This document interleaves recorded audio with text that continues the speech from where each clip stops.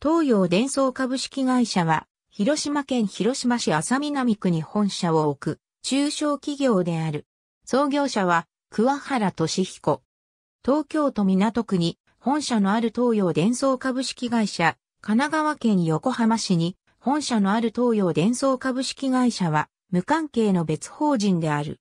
東洋伝送株式会社は1973年12月、広島県広島市西区小井中にて、桑原俊彦により設立された。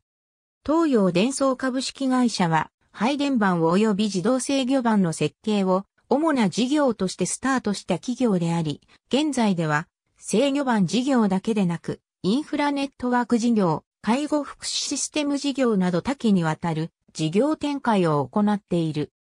具体的には、水道局向け制御盤や電源切り替え盤などの公共システム、高速道路の路側情報伝送装置や、社会インフラ用の無線 LAN を使ったネットワーク関連のコンサルティング、設計、構築、運用、保守などを行っている。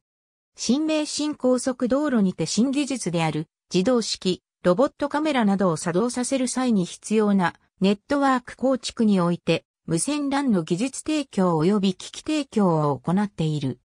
介護福祉システム事業としては、見守り、シートセンサーとそのオプション機器の製造、販売も行っており、介護施設のネットワーク構築にも携わっている。ものづくり企業として、顧客の目的や要望に合わせた一貫対応を実施することを信条としている。本節では、ロゴマークの変遷など、東洋伝送株式会社のコーポレートアイデンティティについて記すのご事業からなる。また、東洋伝送株式会社では組織体制として役職制ではなくリーダー制を採用している。